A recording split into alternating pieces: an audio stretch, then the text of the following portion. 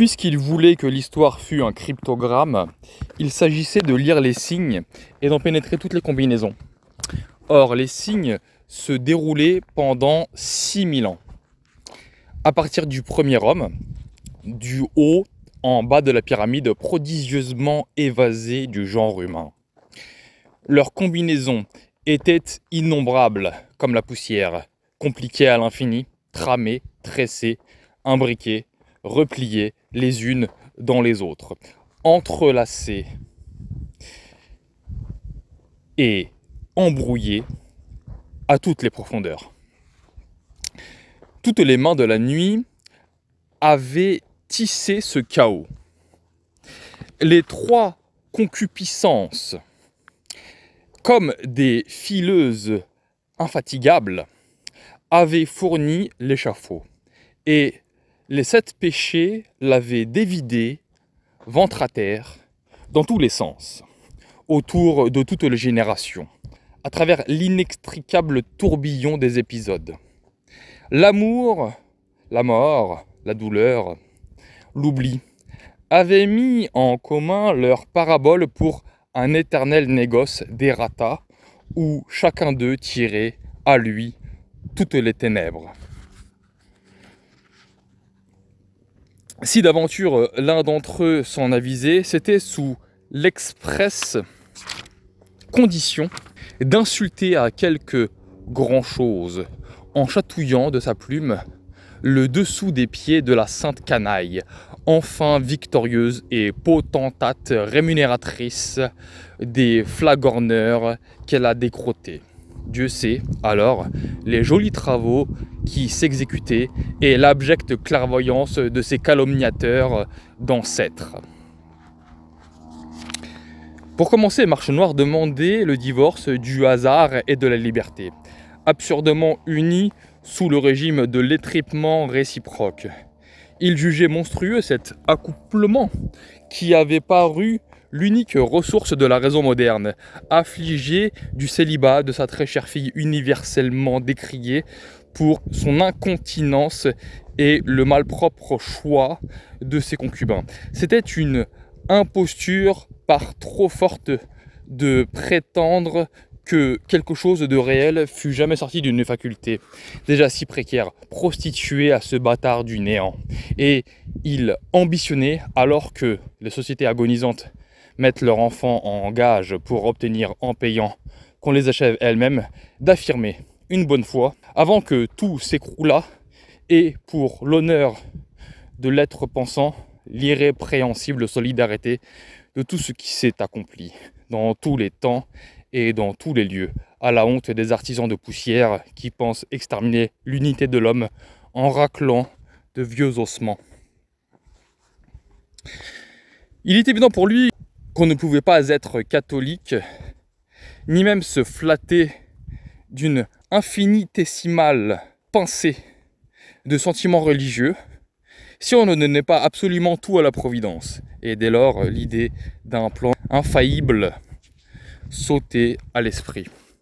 À cette hauteur, peut lui emporter les chicanes philosophiques ou même théologiques qu'on pouvait lui décocher au sujet du libre arbitre, laissé sans ressources par cette invasion d'absolu dans le pâturage desséché du conditionnel.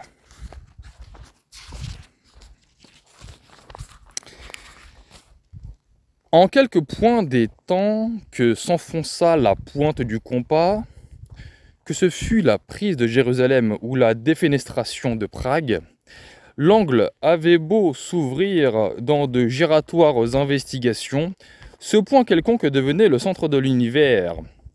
Le passé et l'avenir irradiaient lumineusement de ce foyer et convergeaient en frémissant vers cette ombilique. Une identité surnaturelle, éclatée partout à la fois.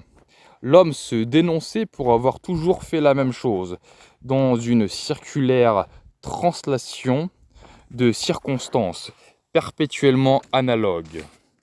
Et l'imperceptible atrocité d'un Ezzelino ou d'un Alberstadt avait juste autant de force harmonique et salarié aussi sûrement l'esprit de synthèse que les colossales redites du despotisme des Tibères, des Philippe II ou des Napoléons.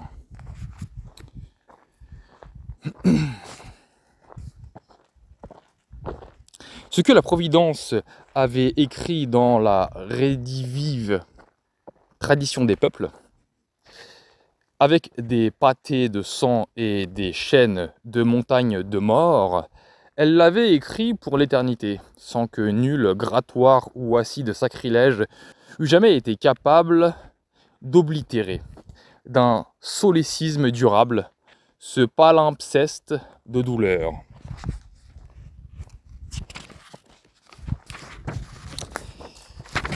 Les anges devaient avoir eu peur et pitié de ce spectacle sur lequel on avait sujet de redouter que ne tombât jamais le rideau d'une pudeur divine. Les générations humaines, toujours dévorées au banquet d'efforts sur tous les continents où les enfants de Nemrod avaient étendu leur nappe, et le pauvre, dont c'est l'étonnant destin de représenter Dieu même, le pauvre, toujours vaincu, bafoué, souffleté, violé, maudit, coupé en morceaux, mais ne mourant pas, roulé du pied sous la table comme une ordure d'Asie en Afrique et de l'Europe sur le monde entier.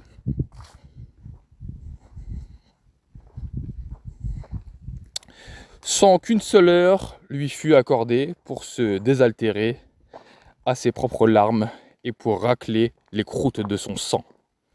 Cela pour toute la durée des sociétés antiques, sculptées en formidables raccourcis dans la gouliafrée du roi Balthazar. Comme si l'apparition de la croix avait affolé les nations, l'univers se confondit dans une prodigieuse bousculade sur l'empire romain tordu par la colique, goûteux des pieds, avarié du cœur, et devenu chauve comme son premier César. Des millions de brutes à gueule humaine déferlèrent, les Goths, les Vandales, les Huns, les Francs, s'assirent en ricanant sur leurs boucliers et se laissèrent glisser en avalanche contre toutes les portes de Rome qui creva sous la poussée. Le Danube, gonflé de sauvages, se répandit en inondation sur les latrines du bas empire. Du côté de l'Orient, le chamelier prophète accroupi sur la bouse de son troupeau, couvait déjà dans son sein pouilleux les sauterelles affamées dont il allait remplir les deux tiers du monde connu.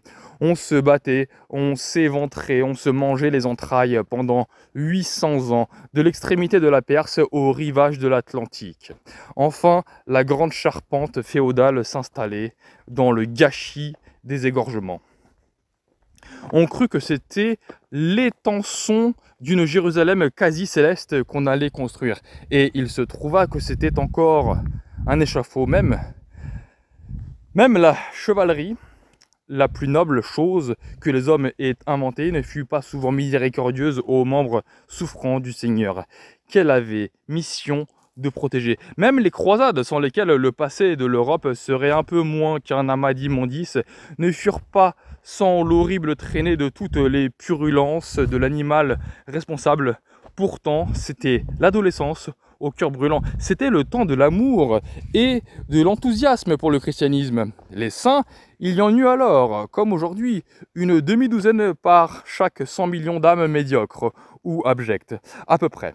Et l'odieux bétail qui les vénérait, après leur mort, fut quelquefois obligé d'emprunter de la boue et de la salive pour les conspuer à son plaisir, quand il avait l'honneur de les tenir vivants sous ses sales pieds.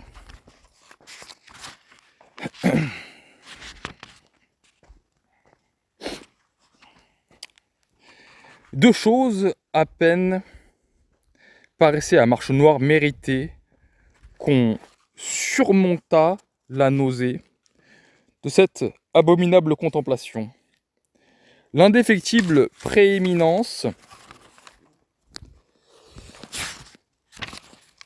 de la papauté et l'inaliénable suzeraineté de la France. Rien n'avait pu prévaloir contre ces deux privilèges, ni l'hostilité des temps, ni le négoce des Judas, ni la surpassante indignité de certains titulaires, ni les révolutions, ni les défaites, ni les reniements, ni les inconscientes profanations de la sacrilège bêtise. Quand l'une ou l'autre avait menacé de s'éteindre, le monde avait paru en interdit. La bulle Unam Sanctam de Boniface VIII, la fameuse bulle des deux glaives, n'avait plus de croyants. Il est vrai, et la France était gouvernée par des goujats. N'importe, quelques âmes savaient qu'il existe en leur faveur une prescription contre toutes les poursuites revendicatoires du néant. Et Marche Noire était une unité dans le petit nombre de ces âmes malheureuses, charriées sur un glaçon fondant, au milieu d'un océan de tiédeur, vers un tropique d'imbécilité. Mais, avant de sombrer, ce millénaire voulait assigner les temps modernes les plus iniques temps et les plus bêtes qui furent jamais devant un juge dont il pressentait la prochaine venue. Quoiqu'il ait l'air de dormir profondément depuis tant de siècles et qu'il espérait, à force de clameurs désespérées, faire une bonne fois crouler de son ciel. Ces clameurs, il les avait ramassées de partout, accumulées, amalgamées, coagulées en lui. Écolier sublime de ses propres tortures, il avait syncrétisé en une algèbre à faire éclater les, intelligences. L'universelle totalité des douleurs.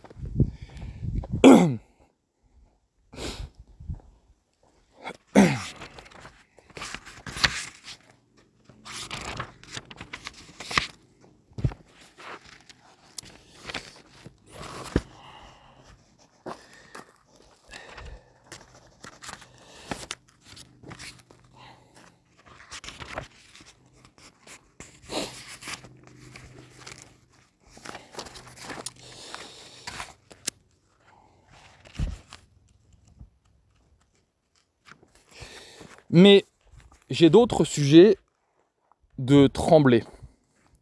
Et c'est justement l'excès de votre force qui m'épouvante, ajouta-t-il, avec un sourire mélancolique, en lui touchant du doigt le front et la poitrine.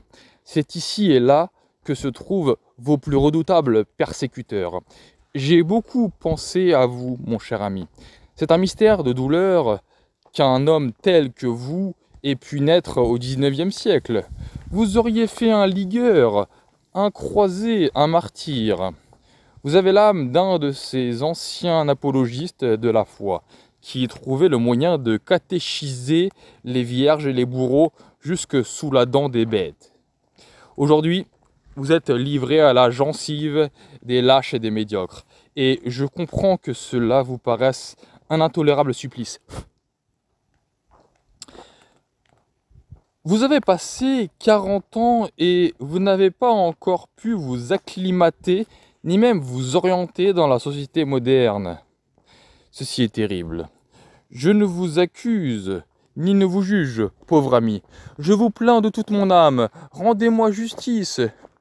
Je ne vous reproche pas de n'avoir pas su vous faire une position.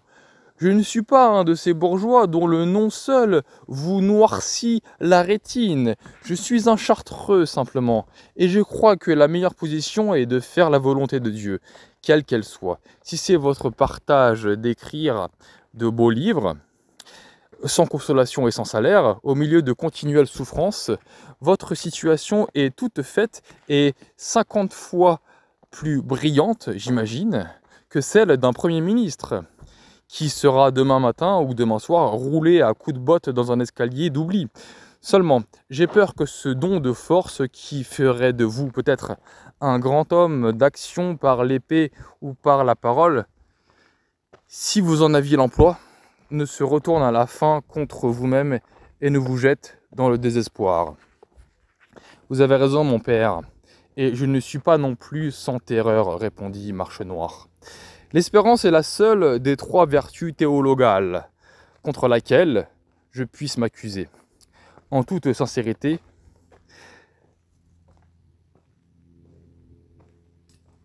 d'avoir sciemment et gravement péché. Il y a en moi un instinct de révolte si sauvage que rien n'a pu le dompter. J'ai fini par renoncer à l'expulsion de cette bête féroce et je m'arrange pour n'en être pas dévoré. Que puis-je faire de plus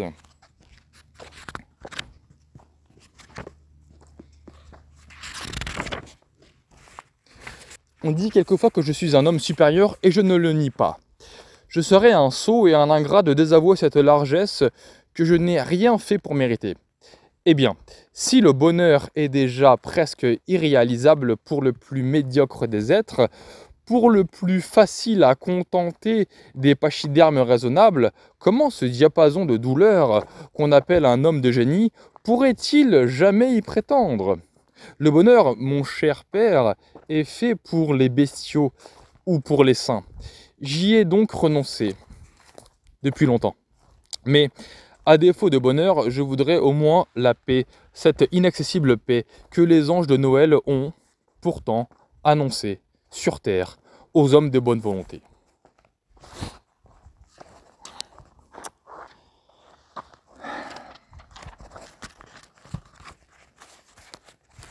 Le non-amour est un des noms du père de l'orgueil.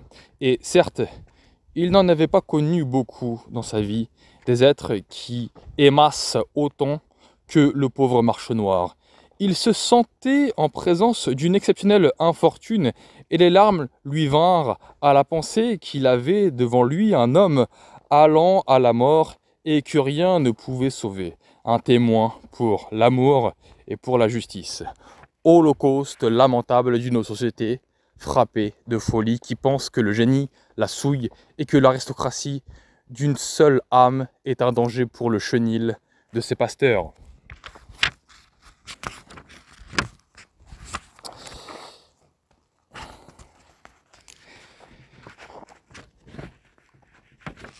Mais cela n'est rien, dit-il d'une voix plus ferme en se dressant tout à coup si je profane les puants ciboires qui sont les vases sacrés de la religion démocratique, je dois bien compter qu'on les retournera sur ma tête, et les rares esprits qui se réjouiront de mon audace ne s'armeront, assurément pas, pour me défendre. Je combattrai seul, je, je succomberai seul, et ma belle sainte priera pour le repos de mon âme. Voilà tout. Peut-être aussi ne succomberai-je pas? Les téméraires ont été, quelquefois, les victorieux.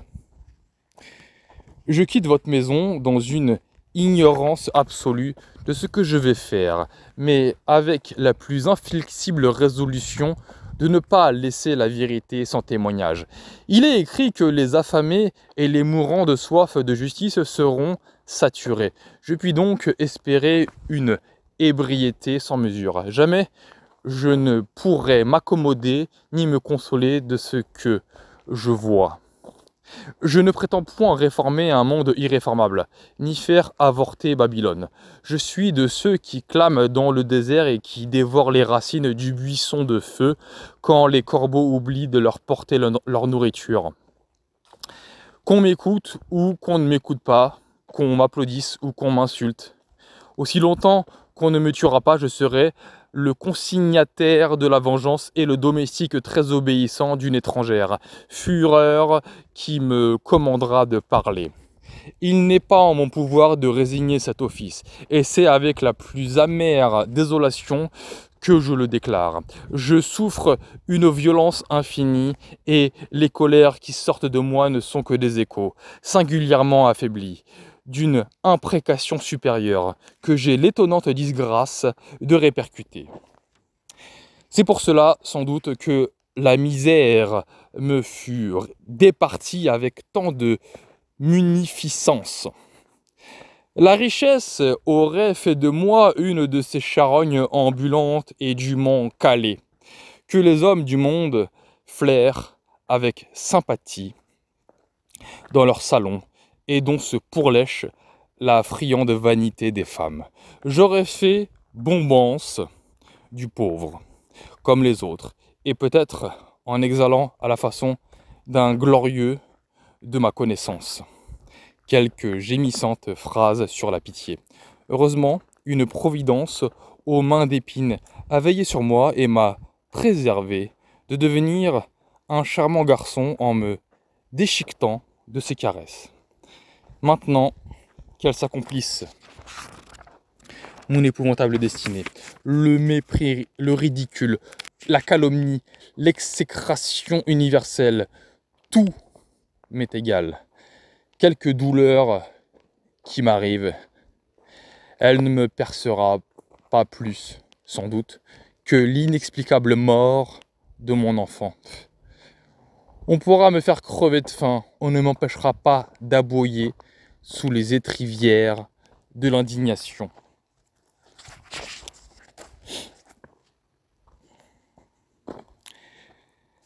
Alors, les promesses de joie et de triomphe dont l'écriture est imbibée, inscrites dans la loi nouvelle sous le vocable abréviatif des béatitudes, parcoururent les générations en se ruant au travers comme un tourbillon de glaive. Pour tout dire, en un mot, l'humanité se mit à souffrir dans l'espérance, et c'est ce qu'on appelle l'ère chrétienne.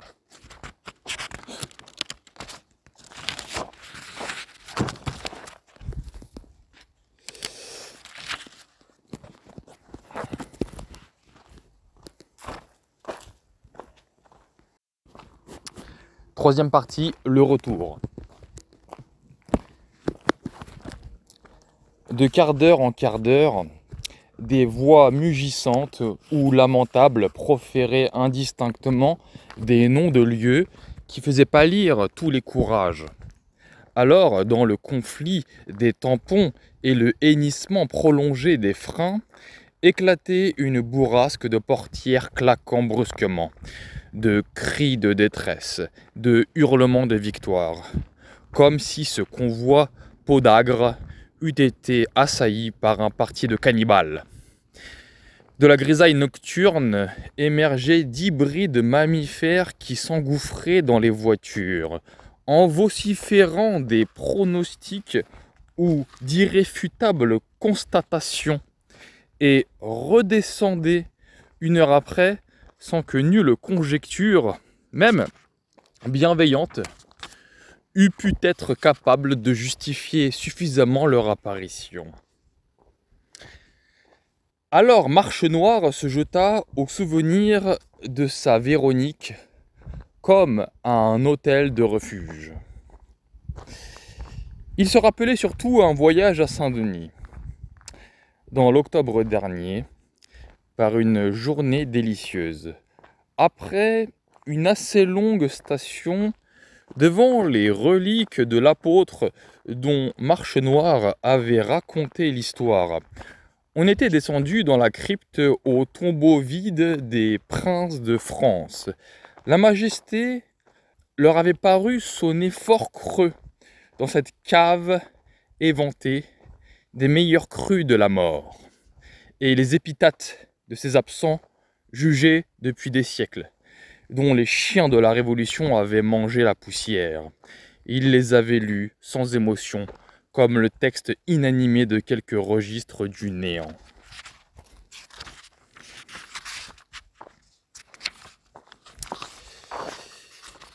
Marche Noire sortit de la gare de Paris au point du jour son léger bagage à la main. Il avait besoin de marcher, de se piétiner lui-même sur les pavés et le bitume de cette ville de damnation, où chaque rue lui rappelait une escale du pèlerinage aux enfers qui avaient été sa vie. Marche noire méprisé, haïssait Paris, et cependant il ne concevait habitable aucune autre ville terrestre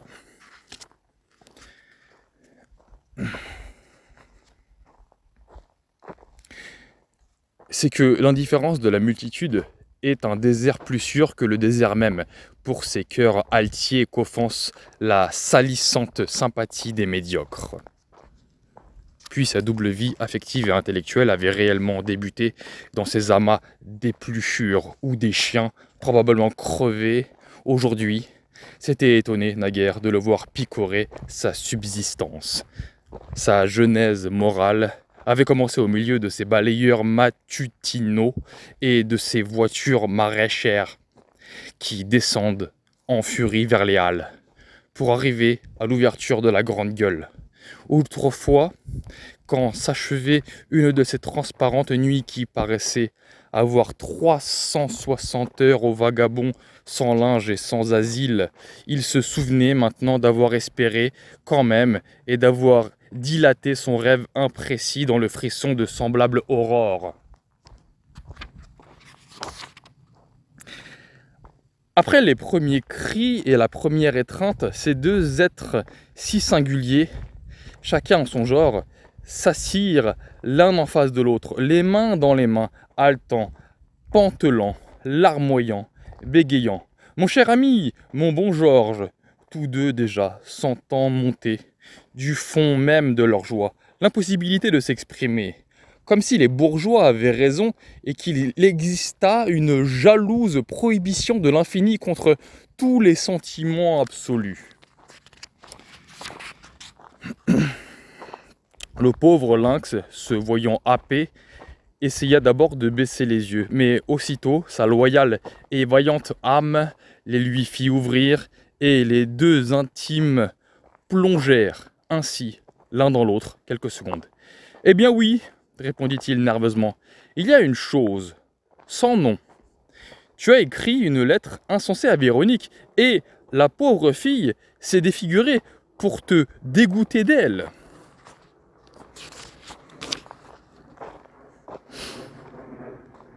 Depuis deux ans que durait le séraphique concubinage, il s'était fait une compénétration très intime de ces trois âmes vivant entre elles et séparées du reste du monde.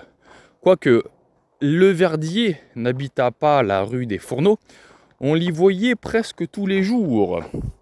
Il avait même résolu de s'y fixer au plus prochain terme.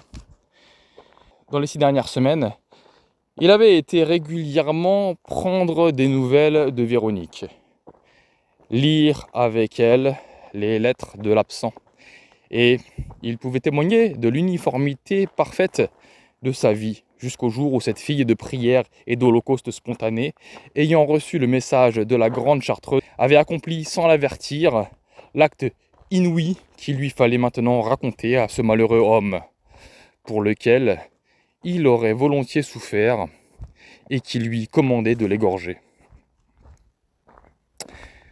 Quant à Marche Noire, il avait assez à faire de ne pas expirer sous la barre qui le rompait comme un vulgaire assassin qui s'accusait d'être. À chaque détail, il poussait un en caverneux en crispant ses poings et grinçait des dents comme un tétanique.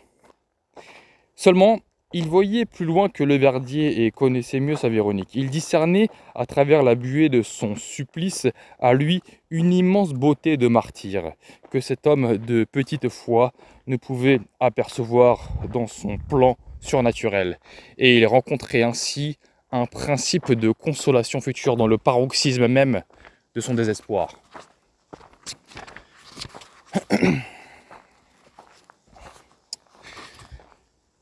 Elle se souvenait d'avoir autrefois connu, rue de l'Arbalète, un petit juif besogneux qui vivait de vingt métiers plus ou moins suspects.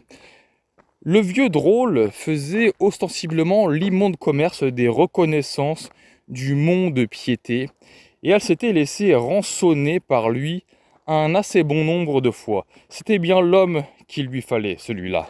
Il n'était, certes, pas encombré de scrupules, pour deux francs, on lui aurait fait nettoyer une dalle de la morgue avec sa langue. D'ailleurs, il la connaissait et savait qu'elle ne le dénoncerait jamais à personne. Monsieur Nathan, dit-elle, en arrivant chez le personnage, avez-vous besoin d'argent? Ce monsieur Nathan était une petite putridité judaïque, comme on en verra, paraît-il, jusqu'à l'abrogation de notre planète. Le Moyen Âge, au moins, avait le bon sens de les cantonner dans des chenilles réservées et de leur imposer une défroque spéciale qui permit à chacun de les éviter. Quand on avait absolument affaire à ces puants, on s'en cachait comme d'une infamie et on se purifiait ensuite comme on pouvait. La honte et le péril de leur contact étaient l'antidote chrétien de leur pestilence, puisque Dieu tenait à la perpétuité d'une telle vermine. Aujourd'hui que le christianisme a l'air de râler sous le talon de ses propres croyants et que l'Église a perdu tout crédit, on s'indigne bêtement de voir en eux les maîtres du monde. Et les contradicteurs enragés de la tradition apostolique sont les premiers à s'en étonner. On prohibe le désinfectant et on se plaint d'avoir des punaises. Telle est l'idiotie caractéristique des temps modernes. Monsieur Nathan avait eu des fortunes diverses. Il avait raté des millions et, quoiqu'il fût très malin, on le considérait parmi ses frères comme un peu jobard. Son vrai nom était Judas Nathan, mais il avait voulu qu'on l'appelât Arthur. Tel est et tel était son principe de mort. Ce juif était rongé de vices chrétiens de vanité.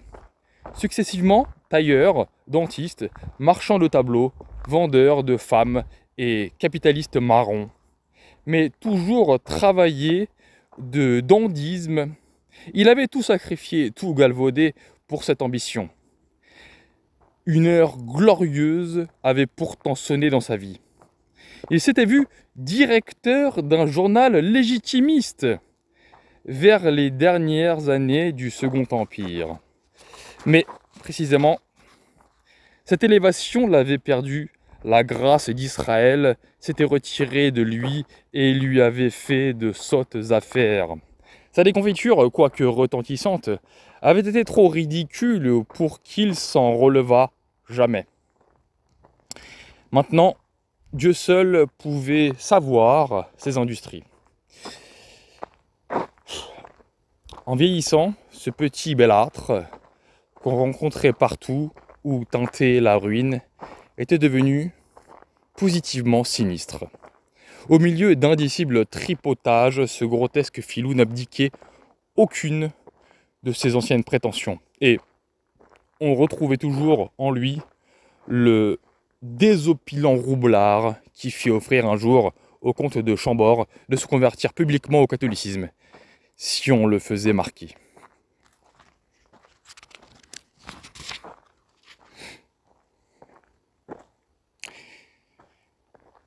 La dispute fut longue, cependant. Jamais ce misérable Nathan n'avait été secoué d'une si rude sorte. Il voyait bien que Véronique n'était pas folle, mais il ne pouvait concevoir qu'une jolie fille voulût se faire laide. Cela renversait toutes ses idées. Puis il y avait, dans cette pourriture d'homme, un coin phosphoré qui n'était peut-être pas absolument exécrable. Il reculait à la pensée de détruire ce beau visage. De même qu'il aurait hésité au moins une minute, fût-ce pour un million, à brûler une toile de Léonard ou de Gustave Moreau. L'anéantissement pur et simple d'une richesse de ce genre le confondait.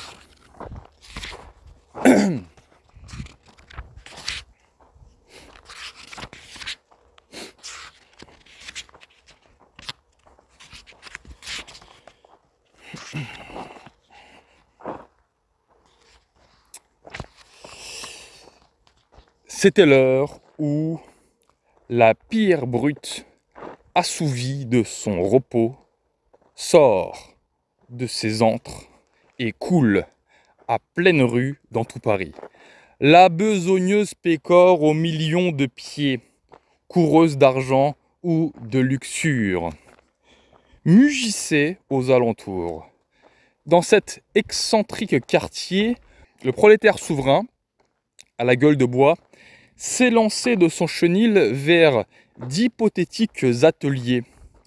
L'employé subalterne, moins auguste, mais de gréement plus correct, filait avec exactitude sur d'imbéciles administrations. Les gens d'affaires, l'âme crottée de la veille et de l'avant-veille, couraient sans absolution à de nouveaux tripotages. L'armée des petites ouvrières déambulait à la conquête du monde, la tête vide, le teint chimique, l'œil poché des douteuses nuits, brimballant avec fierté de cet arrière-train autoclave où s'accomplissent comme dans leur vrai cerveau les rudimentaires opérations de leur intellect.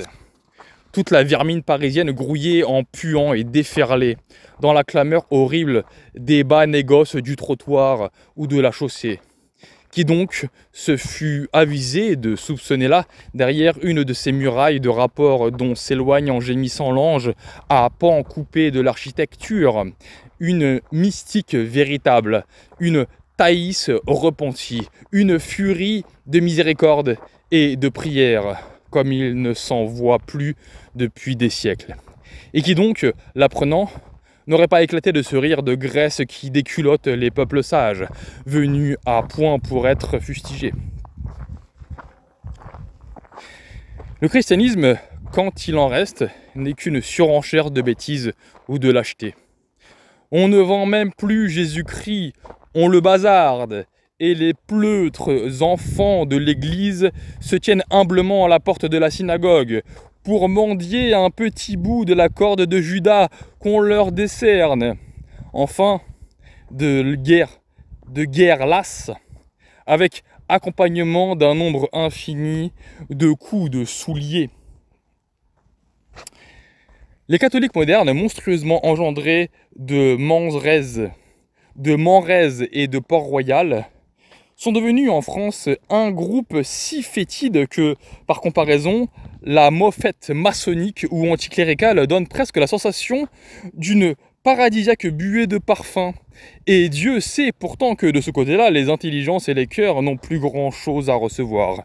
Maintenant, pour leur porcine réintégration de l'animal circé matérialiste. Il est vrai qu'on n'a pas encore abattu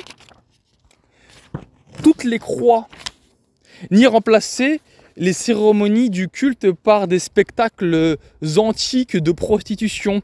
On n'a pas non plus tout à fait installé des latrines et des urinoirs publics dans les cathédrales transformées en tripots ou en salles de café-concert. Évidemment, on ne traîne pas assez de prêtres dans les ruisseaux, on ne confie pas assez de jeunes religieuses à la sollicitude maternelle des patronnes de lupanar de barrière. On ne pourrit pas assez tôt l'enfance, on n'assomme pas un assez grand nombre de pauvres, on ne sert pas encore assez du visage paternel comme d'un crachoir ou d'un décrotoir, sans doute. Mais toutes ces choses sont sur nous et peuvent déjà être considérées comme venues, puisqu'elles arrivent comme la marée et que rien n'est capable de les endiguer. Nous descendons spiralement depuis 15 années dans un vortex d'infamie et notre descente s'accélère jusqu'à perdre la respiration. Nous allons maintenant, comme la tempête, sans aucune chance de retour. Et chaque heure nous fait un peu plus bête, un peu plus lâche, un peu plus abominable devant le Seigneur Dieu, qui nous regarde des enfoncements du ciel. Il n'y a que deux sortes d'immondices les immondices des bêtes et les immondices des esprits. Or, c'est une puanteur bien subalterne que la boue révolutionnaire et anticléricale. Elle est fabuleusement surannée et plus vieille encore que le christianisme. Elle coule des parties basses de l'humanité depuis 60 siècles et a usé des pelles et des balais, a payé la rançon d'un roi de vidangeur. C'est un inconvénient de ce triste monde, une simple affaire de voirie et d'assainissement pour les diligentes autorités qui ont à cœur la santé publique. Il faut que la brute suive sa loi et le mal est à peu près nul aussi longtemps que ces autorités ne décampent pas. Et même alors qu'elles ont décampé, le mal se coule en persécution pour se transformer en gloire. Les injures bestiales, les goitreux défis, les sacrilèges stupides, les idiotes atrocités de nègres, échappés au bâton et tremblants d'y retourner, tout cela est peu de choses et ne contamine essentiellement ni la vérité ni la justice. Depuis le calvaire et le mont des Oliviers, il n'y a plus rien qui n'ait été tenté pour l'interne pourceau du cœur de l'homme contre cette excessive magnificence de la douleur. L'invention n'est plus possible et les Galilées et les Edison de la fripouillerie démocratique y perdraient leur génie. Rabâchage de séculaires rengaines, recopie sempiternelle de farces immémoriablement décrépites, remâchage de salopes facéties, dégobillées par d'innumérables générations de gueules identiques, parodies éculées depuis 2000 ans. On imagine rien de plus. Il est probable que les Juifs étaient plus forts d'abord pour avoir été les initiateurs et peut-être aussi parce qu'ayant à, faire souffrir l'homme qui devait assumer toute expiation, ils savaient des choses dont l'épaisse ignorance des blasphémateurs actuels n'a même pas le soupçon.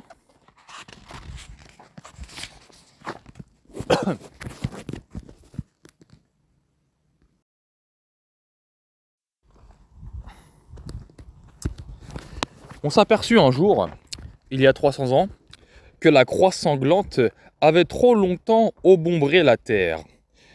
Le déballage de luxure qu'on a voulu nommer la Renaissance venait de s'inaugurer.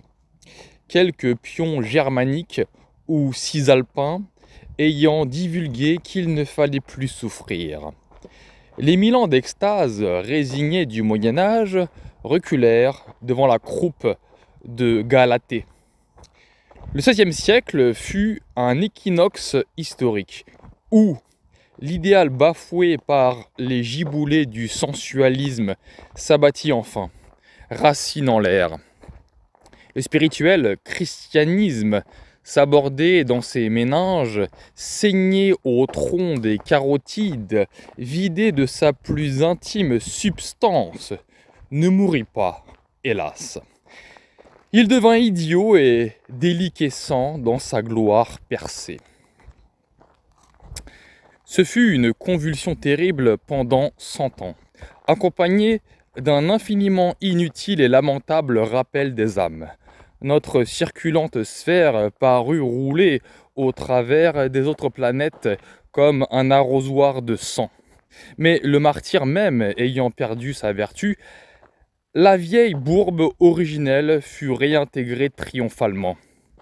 Toutes les portes des étables furent arrachées de leurs gonds et l'universelle porcherie moderne commença son breneux exode.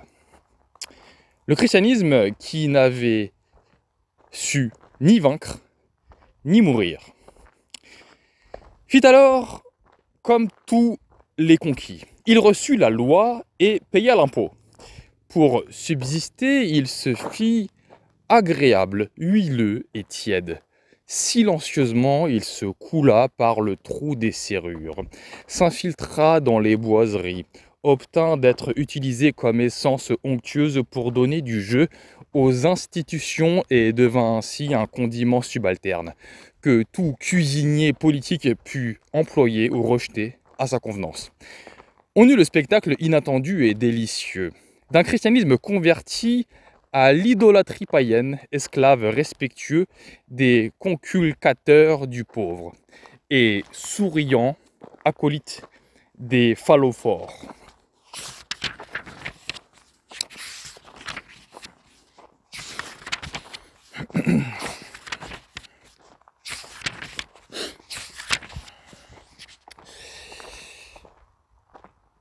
Jamais d'ailleurs il ne fut autant parlé d'œuvres, s'occuper d'œuvres, être dans les œuvres, sont des locutions acclimatées, significatives de tout bien, quoi qu'elles aient l'air, dans leur imprécision, d'impliquer au moral au protestantisme limitrophe des plus imminents.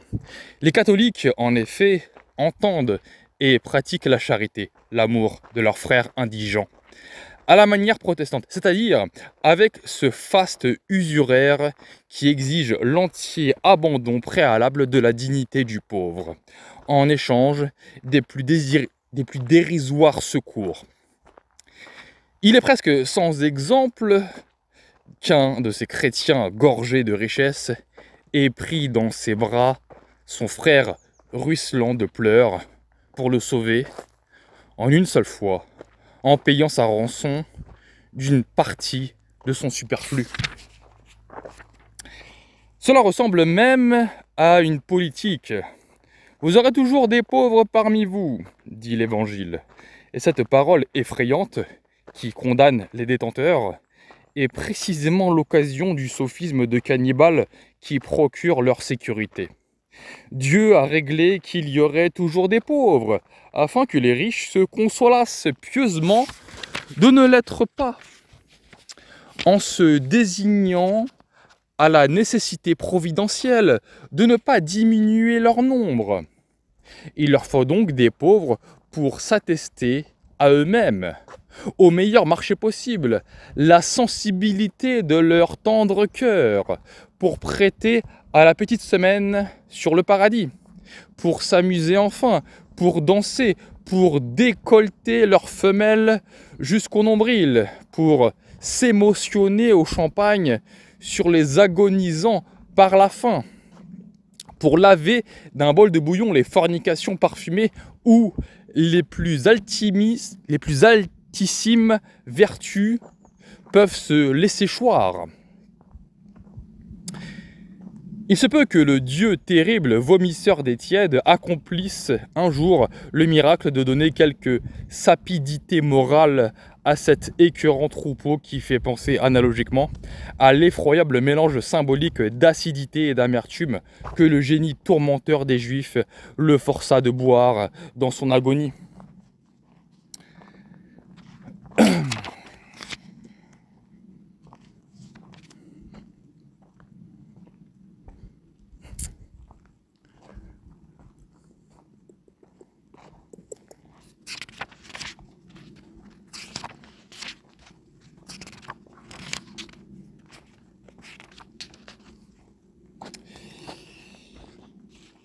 Quand la ventouse n'exista plus, cette houle flamboyante reflua comme elle put, dans tous les sens, pressée, tassée en bandeaux, en nattes, en rouleaux, en paquets, écartelant les épingles, mettant les peignes sur les dents, tombant onéreusement sur les épaules et quelquefois sur le bas des reins, jusqu'à ce que, tordue en un despotique et monstrueux chignon, elle put enfin se tenir tranquille pour l'amour de Dieu.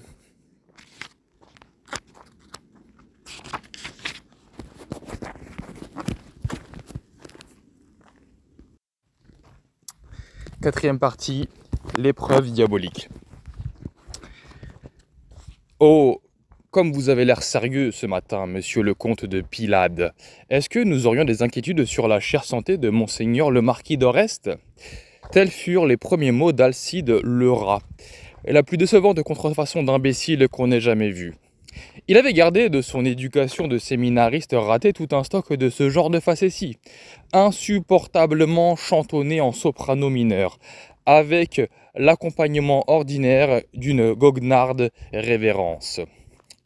Monsieur le rat, répondit le verdier, qui se sentait sur le point de n'avoir plus une goutte de patience dans les veines. Je suis très pressé et incapable, pour l'instant, de savourer vos délicieuses plaisanteries. Je vous prie de m'excuser et d'aller au diable, s'il vous plaît. Nous y sommes tous au diable, répartit le fâcheux. Puisqu'il est le prince de ce monde. Mais vous me recevez si mal que j'ai bonne envie de garder pour moi une communication intéressante dont je voulais vous charger pour votre ami Marche Noire.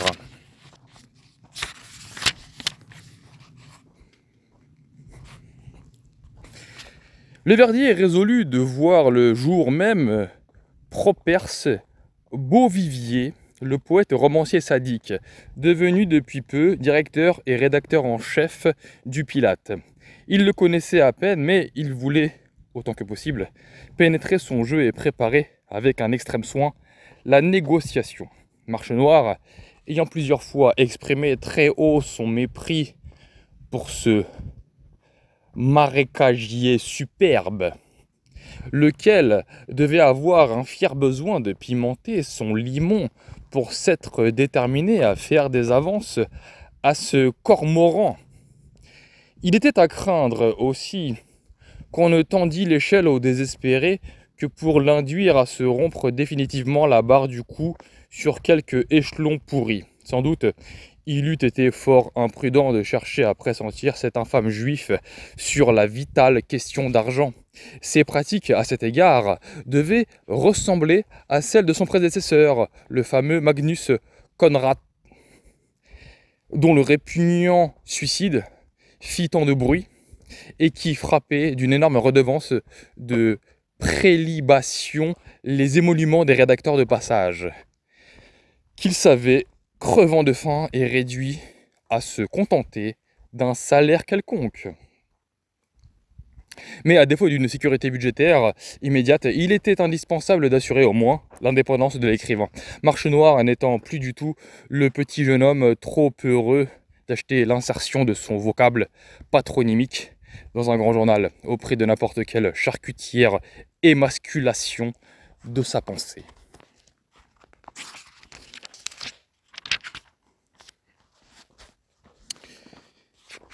Personnellement, je connais très peu Beauvivier que j'ai vu aujourd'hui pour la troisième fois, mais j'ai des informations. C'est le plus infâme des hommes et pour tout dire, sa bienveillance est plus à craindre que son inimitié déclarée. C'est une espèce de Judas don Juan, matiné d'Alphonse et de Tartuffe. Sa vie est un tissu d'abomination et de trahison. On est forcé de se désinfecter au phénol, comme un cadavre, quand on a été regardé par lui. Eh bien, il paraît que cet être a néanmoins une qualité le plus rare. La plus rare en ces temps-ci, il aime la littérature. Et voilà ce qui le rachète.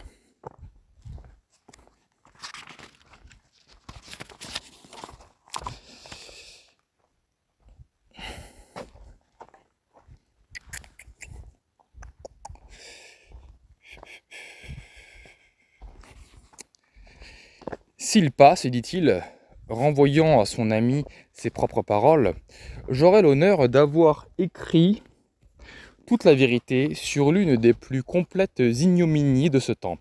On me glorifiera pour mon courage et les esprits lâches qui ne manqueraient jamais de m'accuser de cynisme. En cas d'insuccès, viendront alors pincer une laudative guitare sous mes gargouilles. S'il ne passe pas, ma situation reste exactement ce qu'elle était auparavant et je n'aurais même, même pas perdu l'occasion de devenir un heureux drôle, car je serais, dans tous les cas, inhabile à me prostituer. Je dégoûterais le client sans lui donner le moindre plaisir. Beauvivier le sait à merveille.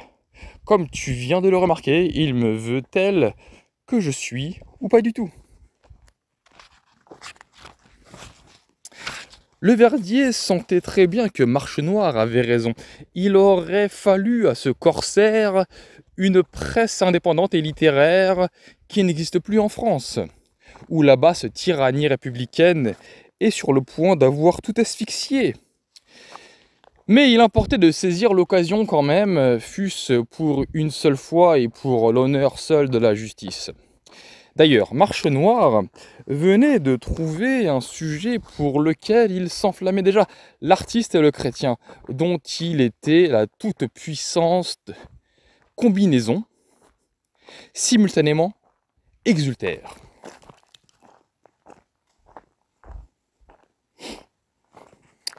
Demain, sans doute, sa boueuse idiotie n'ayant plus de fond, il en sera tout attendri, il se dira que l'héroïque indépendance d'un cœur brûlant pour la justice est attestée par le jaillissement de ce pu et qu'il convient d'en arroser les jeunes fleurs écloses de son fertile giron. Nous assisterons en ce jour à l'apothéose de Tartuffe, espérée depuis 200 ans.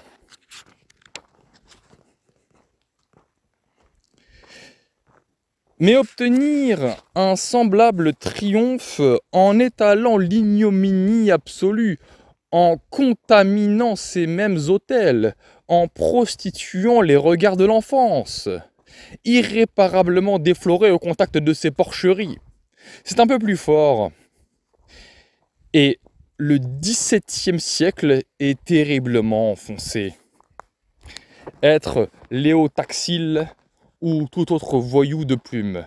Francisque Sarcey, par exemple, car le barnum de l'anticléricanisme ne doit être ici qu'un prétexte et ne pas crever sous d'adventices raclées toujours imminentes, maintes fois administrées déjà sans le reculant dégoût de la trique épouvantée d'une telle approche. C'est fièrement beau, sans doute que ce, race de se faire adorer sous cette forme, d'y paraître un confesseur de la vraie foi et de s'envoler ainsi avec des squames de macro, avec des scams de macro et des ailes d'or dans le paradis brenneux des élus de l'admiration républicaine. Tel est pourtant l'avenir présagé par l'indifférence universelle pour l'indicible attentat de cet affichage, aussi parfaitement délictueux que pourrait l'être un spectacle public de prostitution.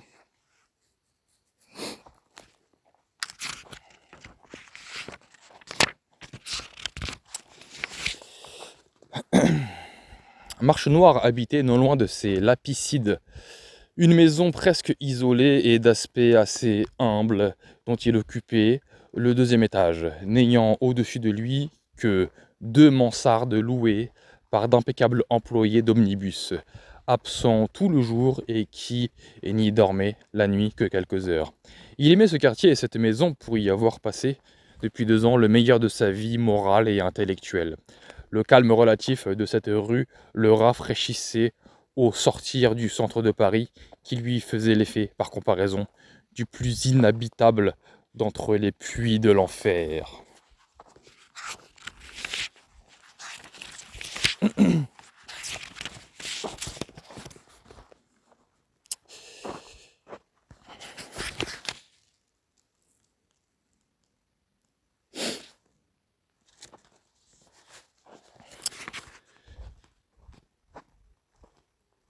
Mon directeur m'a parlé de vous un jour. Il m'a dit que votre voix était dangereuse au point de vue chrétien, que vous n'aviez pas mission pour juger vos frères, euh, non plus que pour les punir, et qu'ainsi la sainte charité courait grand risque d'être blessée par vos écrits. Je n'ai pas cru qu'il eût complètement raison lui-même de vous juger aussi sévèrement. Cependant, je suis resté sans réponse et, quelquefois, ces paroles me reviennent et m'affligent un peu. Je gardais cela pour moi depuis quelque temps, mais aujourd'hui, je me sens poussé à vous ouvrir ce coin de mon cœur. Ma confiance en vous est sans borne. Dites-moi, je vous prie, ce que je dois penser exactement. Votre directeur Véronique a exprimé la pensée de la foule, la vôtre peut-être, inaperçue de vous-même jusqu'à cet instant. Je voudrais bien le voir à ma place, ce ministre de Clémence, qui croit qu'on peut faire la guerre sans offenser ni blesser personne. Vous a-t-il dit aussi qu'il ne fallait jamais combattre? Au moins, il serait ainsi dans la logique de ces couards de conciliation. On me l'avait fait assez souvent, ce reproche de manquer de charité, parce que je rossais quelques chiens hargneux, sous prétexte que ces animaux appartenaient à la meute humaine. Je veux croire que votre père spirituel est un excellent ecclésiastique, pavé et briqueté des plus évangéliques intentions. Mais je doute que sa clairvoyance égale son zèle. Vous pourriez, ma brebis tondue, lui faire observer avec douceur que l'inculpation d'intolérance est une tactique chenue, renouvelée des pharisiens par les modernes ennemis de l'Église contre tous ceux qui veulent s'y exposer pour défendre cette vieille mère. Vous avez été indigné de quelques-uns des nombreux articles lancés contre moi par la presse entière athée ou catholique, libérâtre ou autoritaire. Tous m'ont accusé de méchanceté, de haine et d'envie. Un instant unanime sur le seul point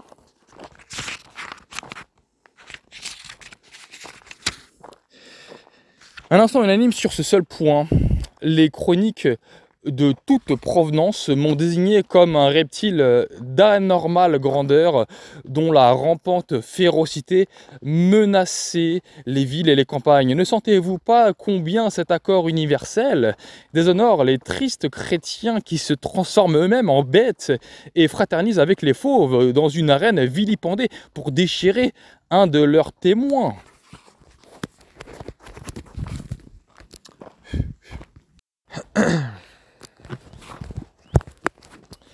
Nul dépositaire n'a jamais eu l'occasion d'être aussi funestement infidèle et n'en a plus sinistrement abusé. Tu sais, Georges, avec quelle vigilance de nuque le rédacteur en chef de l'univers écartait de son sérail les écrivains de talent qui eussent pu faire admirer à son préjudice, et combien paternellement s'ouvraient ses bras aux avortons imposés par son bon plaisir à toute une société soi-disant chrétienne, assez idiote pour les accepter. Il ne suffisait pas au vieux drôle qu'on s'abaissa devant lui et devant sa chienne de sœur, dont Pineuf lui-même eut la misère des misères de tolérer l'intrusion dans le gouvernement de l'Église. Il fallait qu'on n'idolâtra les plus giflables de ces mamelouks. N'avons-nous pas vu un jour, de nos yeux dilatés par la terreur, en haut de l'escalier du journal, ce pommadin de sacristie, ce merlan gâteux qu'on nomme Auguste Roussel, congédiant le mufle en l'air, deux rétrogradants évêques pliés devant lui et se dérobant à reculons dans leurs robes violettes, cuits et juteux de bonheur pour avoir été reçus par ce plénipotentiaire.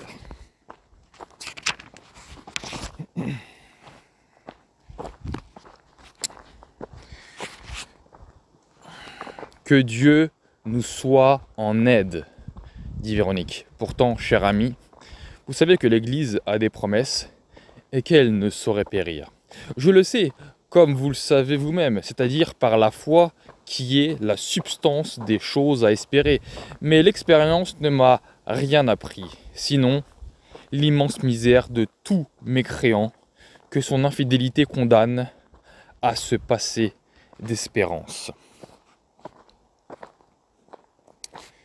Il me semble même que cette Pâque de l'Esprit Saint doit paraître singulièrement prochaine à tout individu capable de penser et de voir ce qui s'accomplit en la fin de siècle où nous sommes n'est point une persécution ordinaire, pour me servir de ce mot dont la rhétorique de nos lâches a tant abusé. Le verdier doit se souvenir de ce que j'ai tenté au moment des expulsions pour leur inspirer un peu de courage. J'ai couru huit jours dans toutes les maisons religieuses menacées par les décrets et bondées de grotesques pleutres attendant avec constance la palme du martyr en main. L'occasion légale de mitrailler de leur inoffensive protestation le commissaire de police, qui les congédiait sans colère, de l'extrémité de sa botte dioclétienne, j'ai tâché, stupidement, de faire entrer de viriles résolutions dans leurs viscères de crétins. Je leur ai démontré vingt fois l'évidente insolidité de ce gouvernement de fripouilles sans énergie, que la résistance armée de quelques audacieux aurait culbuté. Je leur ai dit, Dieu sait avec quel accent, que c'était l'instant ou jamais de se racheter, d'avoir été si longtemps, si onéreusement renégat ou tiède. Que l'honneur, la raison, la triste justice, la charité, même vociférante d'une seule voix, pour qu'ils courussent aux armes, parce que c'était vraisemblablement la dernière fois qu'ils le pourraient faire. J'ai trouvé des âmes de torchons graisseux qui m'ont exhibé la consultation d'un avocat dont il avait été prendre l'avis pendant qu'on violait leur mère. Ils m'ont accusé d'être un fou des plus dangereux. L'un d'eux même insinua que je pouvais bien être un provocateur envoyé par la police. Monsieur, lui ai-je dit, je vous conseille de numéroter vos chicots, car je vous préviens que j'ai la calotte facile. Ce chien de procession eut la présence d'esprit de se rendre invisible instantanément. Et tel fut en totalité le résultat de mes efforts. Il serait donc au moins ridicule de prononcer le mot de persécution à propos de cette clique de fluents cafards qui s'en vont téter en sortant de la sainte table les mamelles pourries de la légalité, et qui livreraient aux plus noirs cochons leurs propres femmes, leurs plus jeunes sœurs, et jusqu'au corps sacré du Dieu vivant pour conserver l'intégralité de leur peau ou de leurs écus. Néanmoins, on peut dire que l'Église est opprimée de la façon la plus inouïe, puisque les enfants qu'elle a l'état la déshonorent pendant que les étrangers l'assomment, et qu'ainsi elle n'a plus une âme pour la réconforter ou pour la plaindre. C'est l'angoisse de Gethsemane. C'est la déréliction suprême, l'assemblée des fidèles, dit le catéchisme. Je sais, parbleu, que c'est là l'Église. Mais combien sont-ils les vrais fidèles? Quelques centaines tout au plus de quoi faire à peine un imperceptible groupe de pauvres gens héroïques et humbles, éparpillés aux plus distantes encoignures de l'univers, où ils attendent en pleurant qu'il plaise au Père qui est dans les cieux, inauguré, d'inaugurer enfin son règne, espéré depuis 18 siècles. L'église est écrouée dans un hôpital de folles, chuchota tout à coup l'étrange visionnaire pour sa peine d'avoir épousé un mendiant en croix qui s'appelait Jésus-Christ. Elle endure d'irrévérables tourments dans des voisinages à épouvanter les démons. Les docteurs qui se sont chargés de veiller sur elle et qui déclarent ne prétendent que son plus grand bien sont pleins de sourires et pleins de pitié quand on leur parle de sa guérison. Pauvre fille, disent-ils, que deviendrait-elle sans nous?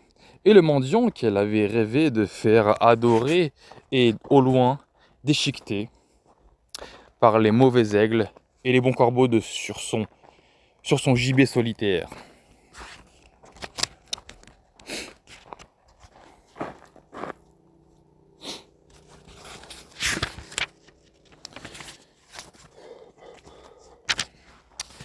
Je vois très certainement, reprit alors Marche Noire, le mal horrible de, ce monde exproprié de la foi chrétienne. Et je ne me connais pas d'autre pensée, quels que puissent être les mots qui me servent à exprimer celle-ci, que je porte comme un couteau dans la gaine de ma poitrine. C'est une passion si vraie, si poignante, que je finirai par devenir incapable de fixer mon attention sur n'importe quel autre objet. Mais cet incident me remet dans l'esprit que je ne vous ai pas encore complètement répondu, Véronique.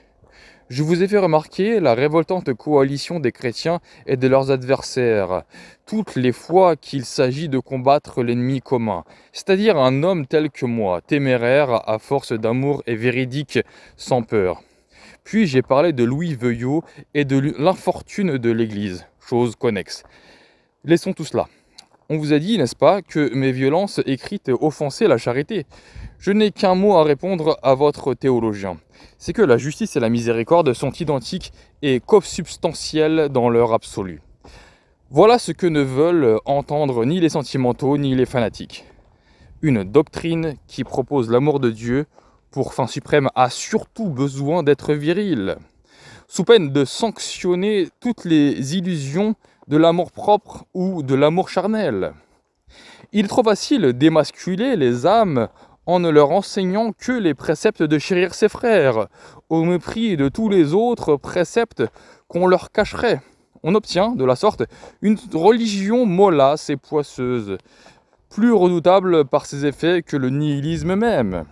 Or, l'évangile a des menaces et des conclusions terribles. Jésus, en vingt endroits, lance l'anathème, non sur des choses, mais sur des hommes qu'il désigne avec une effrayante précision. Il n'en donne pas moins sa vie pour tous. Mais après nous avoir laissé la consigne de parler sur les toits, comme il a parlé lui-même, c'est l'unique modèle et les chrétiens n'ont pas mieux à faire que de pratiquer ces exemples. Que penseriez-vous de la charité d'un homme qui laisserait empoisonner ses frères de peur de ruiner en les avertissant la considération de l'empoisonneur Moi, je dis qu'à ce point de la vue qu'à ce point de vue, la charité consiste à vociférer et que le véritable amour doit être implacable. Mais cela suppose une virilité si défunte aujourd'hui qu'on ne peut même plus prononcer son nom sans attenter à la pudeur. Si les chrétiens n'avaient pas tant écouté les leçons de leurs ennemis mortels, il serait que rien n'est plus juste que la miséricorde, parce que rien n'est plus miséricordieux que la justice, et leur pensée s'ajusterait à ces notions élémentaires. Quelques-uns m'ont dit, à quoi bon? Le monde est en agonie et rien ne le touche plus. Peut-être, mais au fond du désert, il faudrait quand même rendre témoignage, ne fût-ce que pour l'honneur de la vérité et pour l'édification des fauves, comme faisaient autrefois les anachorètes solitaires. Est-il croyable, d'ailleurs, qu'une telle opulence de rage m'ait été octroyée pour rien? Certaines paroles du livre sacré sont bien étranges. Qui sait? Après tout, si la forme la plus active de l'adoration n'est pas le blasphème par amour, qui serait la prière de l'abandonner je vivrai donc sur ma vocation jusqu'à ce que j'en meure, dans quelque orgie de misère. Je serai marche noire le contenteur, le vociférateur et le désespéré, joyeux d'écumer et satisfait de déplaire, mais difficilement intimidable et broyant volontiers les doigts qui tenteraient de le bâillonner.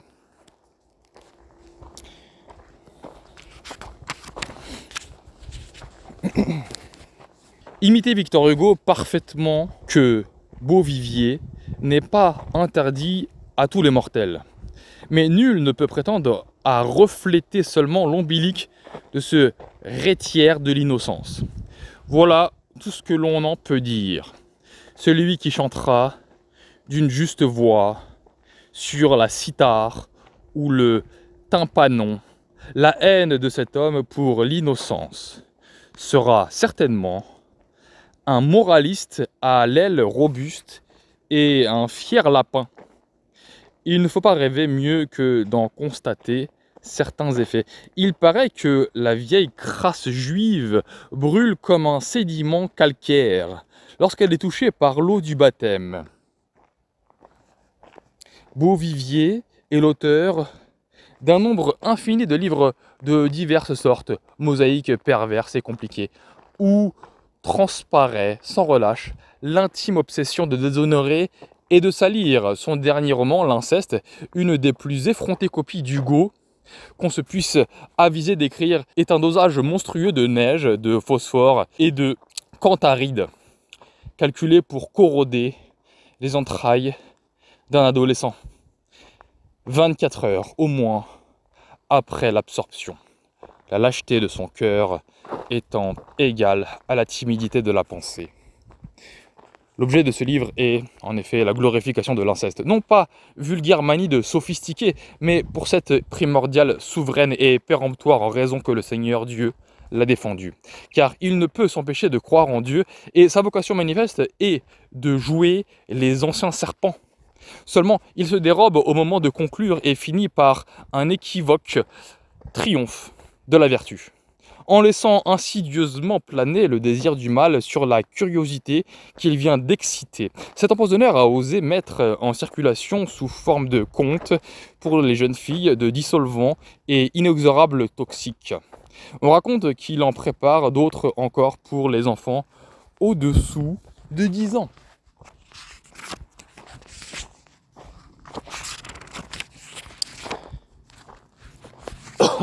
En voici maintenant une autre, d'une atrocité plus surprenante, où se profile de la tête aux pieds le juif réprouvé, Properce, et dans la rue, par une nuit très froide, avec un homme qu'il appelle son ami. Une vieille grelottante est rencontrée qui murmure des supplications en tendant la main. Il s'arrête sous un bec de gaz le nourrisson du divin Deutz. Il exhibe un porte-monnaie gonflé d'or et, sous l'œil ébloui de la misérable, il fouille cet or. Il le pétrit, le retourne, le fait teinter, fulgurer, l'allume comme un tas de braise, puis fourrant le tout dans sa poche et haussant les épaules d'un air d'impuissance navrée. Ma bonne, exalte-t-il, j'en suis bien fâché, mais je croyais avoir de la monnaie et je n'en ai pas. L'observateur de cette scène a raconté qu'il aperçut au pied du spectre, dans le bitume du trottoir, une petite ouverture lumineuse par laquelle on aurait pu découvrir l'enfer.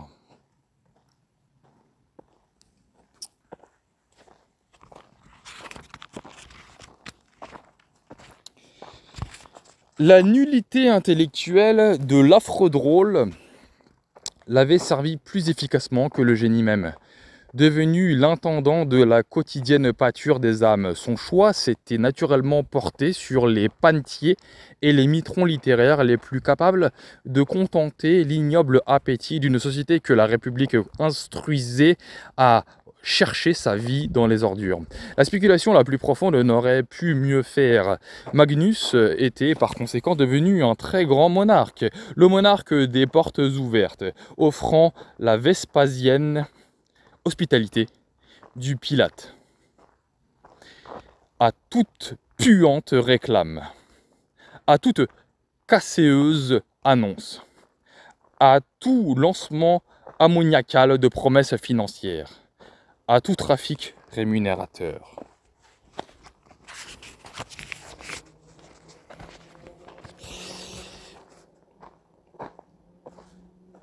Nos journaux, avouons-le, sont crevants d'ennui. Les délectations américaines du reportage et de la réclame ne sont pas infinies. Si vous étiez un homme énergique et profond, et je dis un jour à cette brute de Magnus, non seulement vous m'accepteriez tel que je suis, mais vous grouperiez les gens de ma sorte, absurdement écartés par votre système. Et je vous le jure, nous déterminerions un courant nouveau. Le monde a toujours obéi à des volontés qui s'exprimaient, la cravache ou la trique en l'air. Nous formerions une oligarchie intellectuelle, d'autant plus acclamée que la de la foule que nous serions moins capables de la flagorner. Je ne vous connais pas personnellement, monsieur Vivier, je ne sais de vous que vos livres, dont j'ai dit beaucoup de mal. Qu'importe, si vous aimez le talent, pourquoi ne profiteriez-vous pas de votre quasi-royauté du Pilate pour tenter cette magnifique aventure dont l'ancien directeur a repoussé l'idée comme une folie?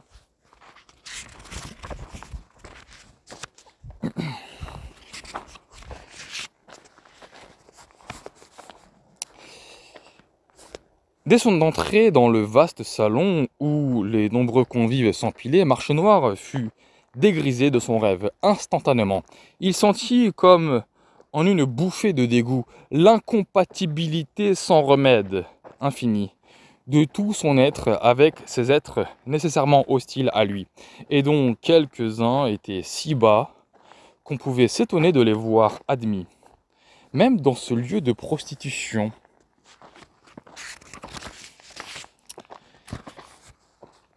Néanmoins, il n'usa pas son précieux pharynx en présentation superflue. Les bonzes de la publicité s'inclinèrent comme des épis, et l'infortuné dut subir le contact de plusieurs mains sordides qui se tendirent vers lui. Tout à coup, il se trouva flanqué du docteur Desbois et de Dulaurier, en qui renaissait une estime sans borne pour se ressusciter d'entre les morts. Le lycanthrope, déjà énervé, n'entendit qu'à peine les gazouillements du premier. Mais le second paya pour tout le monde.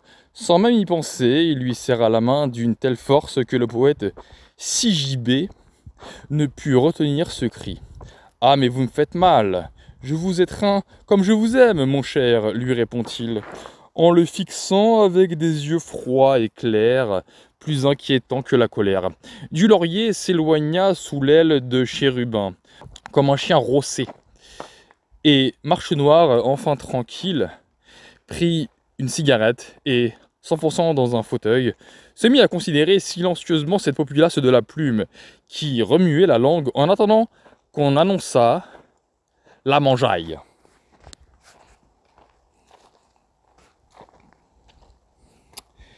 Il vit d'abord, non loin de lui, le roi des rois, l'agamemnon littéraire, l'archi-célèbre, l'européen romancier Gaston Chaudseg, recruteur d'argent inégalable et respecté.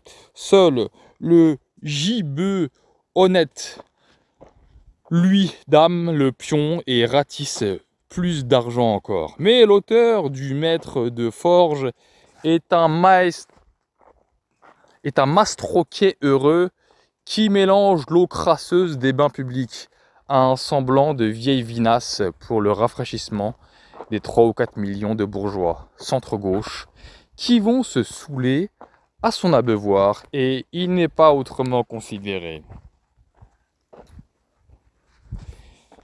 Il est ce qu'on appelle dans une langue peu noble une horrible tapette. En 1870, il avait attaqué Gambetta dont il raillait le mieux qu'il pouvait la honteuse dictature quand la France républicaine lui décidait de coucher avec ce gros homme.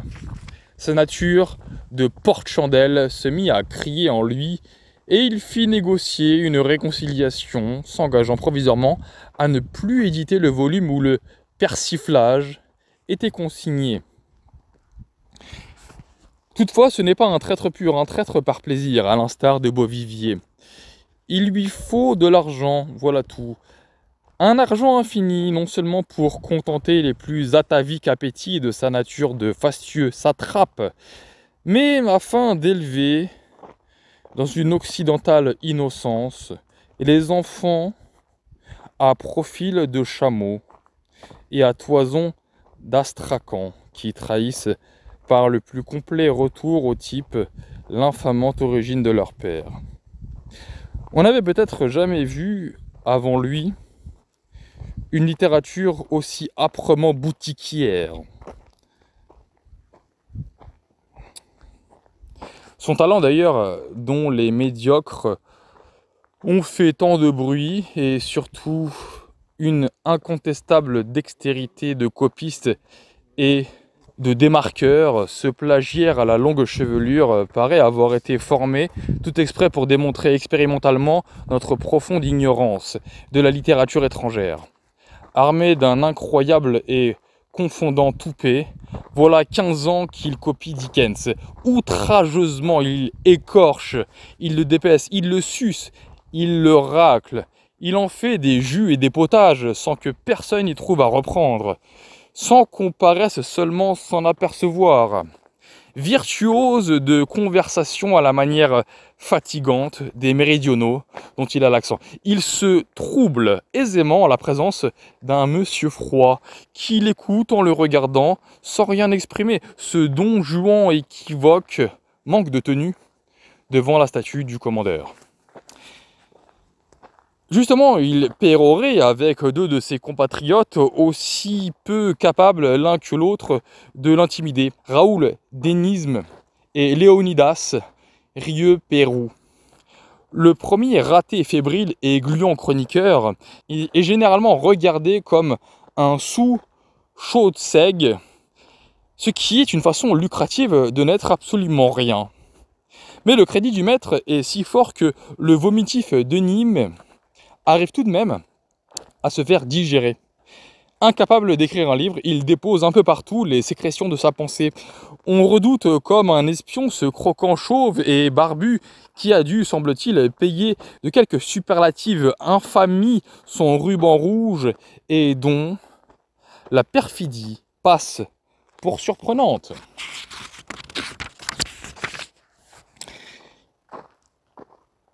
Il est l'inventeur des paysans épiques, la vieille truie, connue sous le nom de Georges Sand.